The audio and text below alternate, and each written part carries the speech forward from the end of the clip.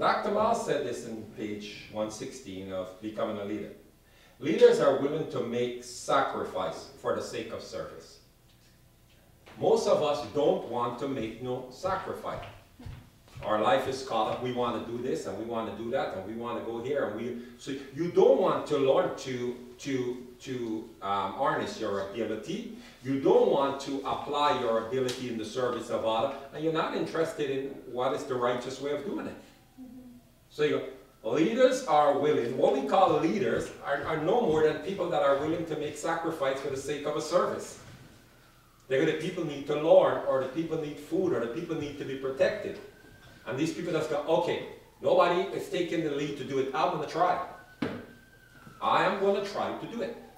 But look what stops. Satan's job is very simple. Satan knows also what, what, what a leader is. Those who make sacrifice for the sake of service. They think more about those whom they are serving through their vision than about their own comfort. Mm-hmm. What's killing man is selfishness. Yes. He loves comfort, he loves pleasure, he loves to be entertained. He doesn't think about what does God want, what's the best way to preserve all our life.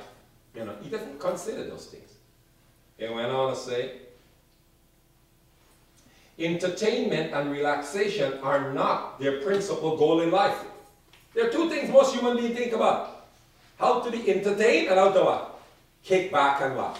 Relax. Why do they need more money? Why? Most people that want more money. Why? To get more excitement, more entertainment, see more plays, do more things, have more fun, or to what? So I don't have to get up in the morning, I can sleep in and relax and hang on. How many people pray for more money to bring about a greater change? Not for relax and not for entertainment. Lord, if you bless me and put me in a position of power, then grant me the grace that I can help your people to remove the evil off of this earth. Hmm. Because it means you're eliminating entertainment and relax. Give me a thousand. One or two does it. All the rest want power and money. That's why God does not answer their prayer. To be entertained and relax. When God, when you come into a position, one maturity, maturity is, I am ready to serve. It's like Abraham Lincoln said. You, know, you must come, you must come to the point where go, I'm ready to serve my country. I'm ready to serve my people. I'm ready to serve my God.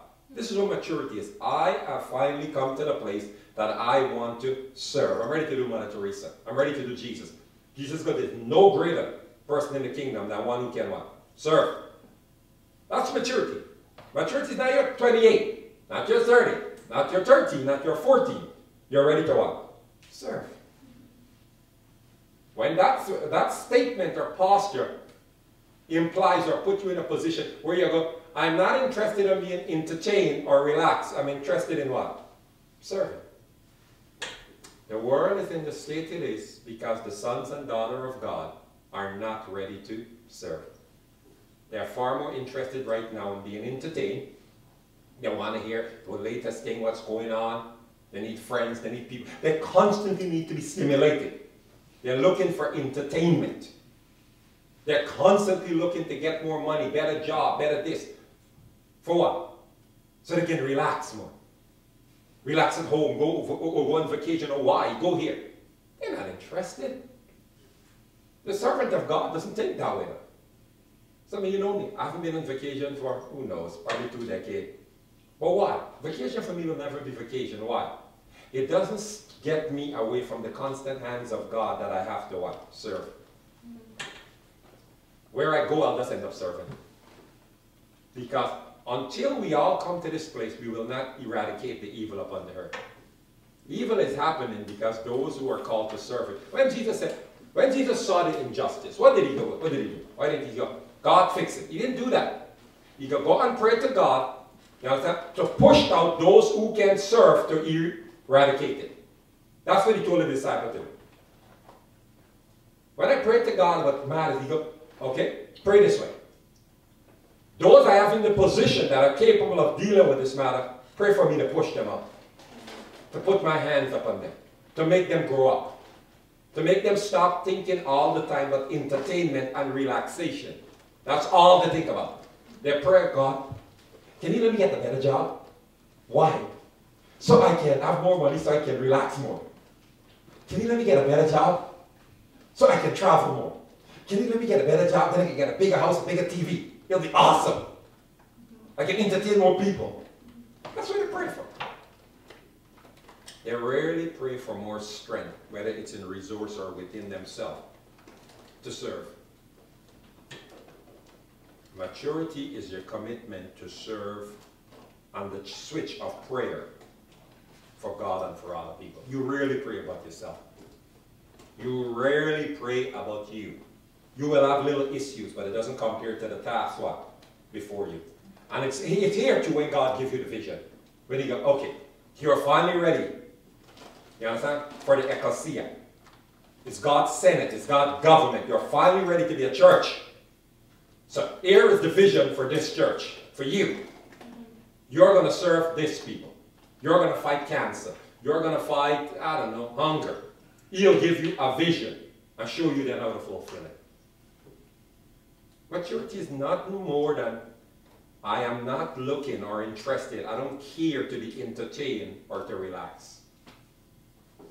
Immaturity is simple. I, I don't agree with all the abuse and all the children that are getting into slavery. I, don't, I wish it would stop. But my entertainment and my relaxation come first. I say, thank God, I like you. Your thinking gives me freedom. So work.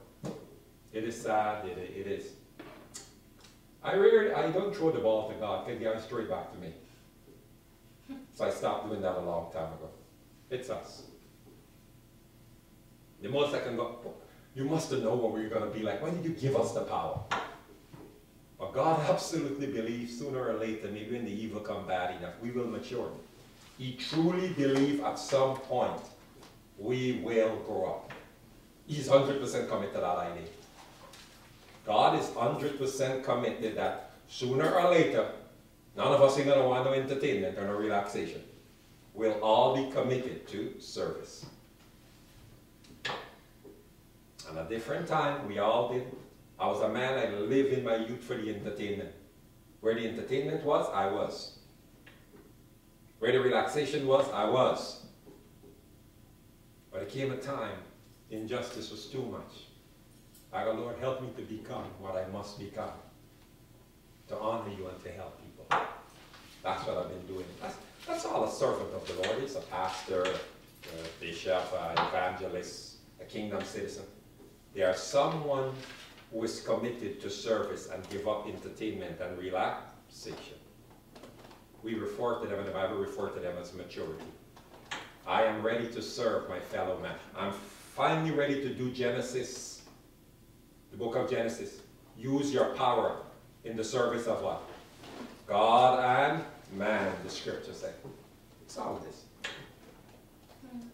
So anytime I see evil, I mean, it just makes me more shameful of us, the human species.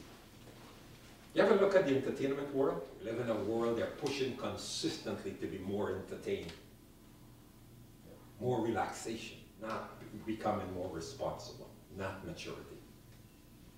Trust me, I know. I've been fighting this fight a long time, trying to use the little we have to serve. Mm. While the masses are looking you understand? Those with massive, out to entertain more. More boat, more house, more this. They just go nuts. While they are aware that their bodies and mind need time to renew or to rejuvenate and refresh, they make the best use of their time that they can. Maturity is like, you're not stupid that your body and mind need rest. You're quite aware of it.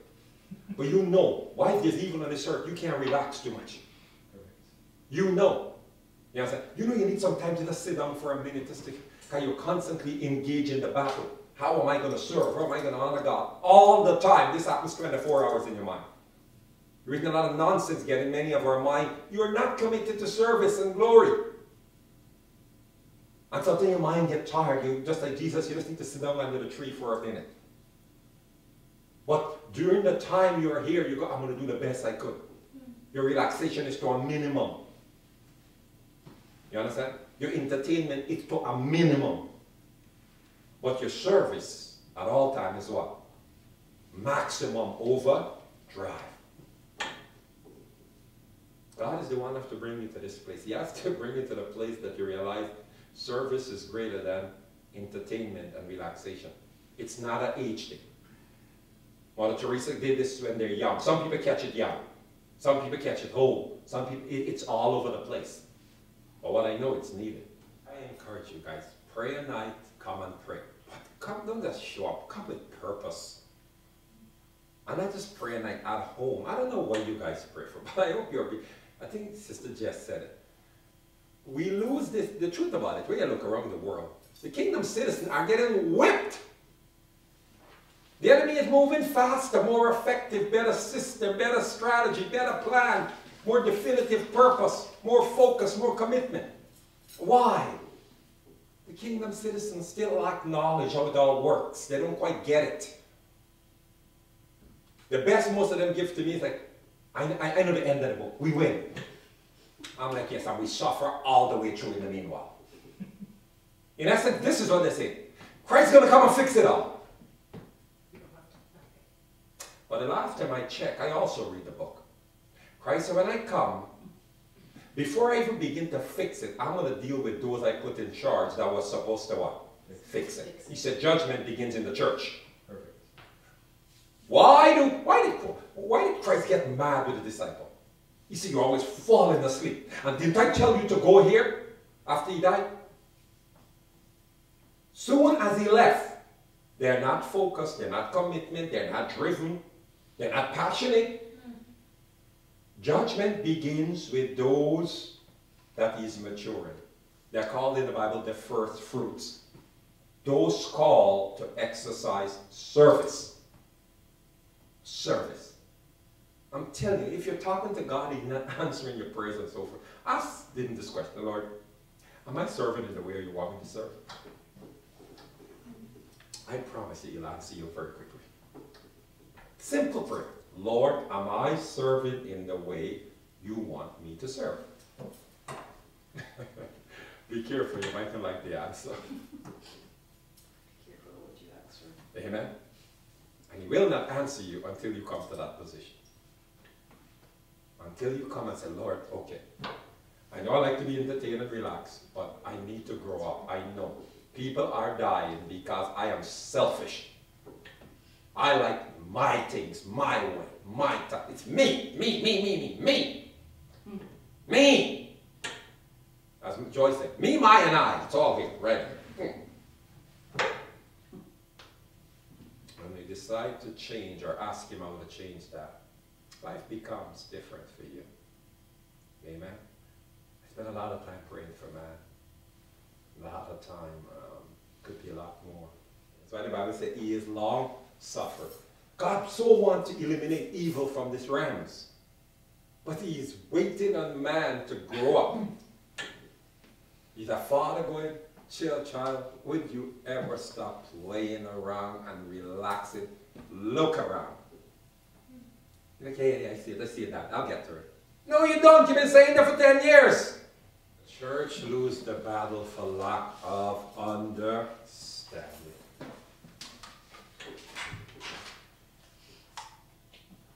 You are extraordinary, or what's in you is extraordinary. But you need to mature. Part of your maturity depends on your willingness to serve. Look around. If you can only see whatsoever connects with you, it will, it will bring the discipline you need to stop the excessive entertainment and relaxation. Look around. I can, I can just think for two seconds in my mind the things that I see. They're things I've been working on for years. The evil's still there. How can I go rest? Does the evil rest? I don't see the evil get tired and just go away. Therefore, I can't get tired and go away. What stopped many evil from completely saturating and destroying this world?